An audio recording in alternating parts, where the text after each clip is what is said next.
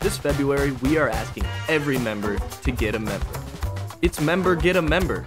All you have to do is go to the front desk and ask for a member get a member card.